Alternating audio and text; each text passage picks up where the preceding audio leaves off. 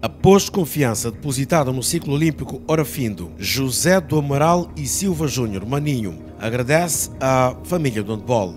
Neste momento é mister reconhecer todos aqueles que nos acompanharam neste mandato 2020-2024. Agradece igualmente a todos que tornaram possível as ações neste mandato. Nosso agradecimento vai para o Ministério da Juventude e Esportes, para os nossos patrocinadores, para as associações provinciais, para os clubes, para os núcleos e para todos os fazedores de handball e amantes desta modalidade que muito amamos. Para o segundo mandato, a convicção é a mesma. Pretendemos agora partir para um segundo mandato com a mesma convicção de tudo fazer em prol do handball.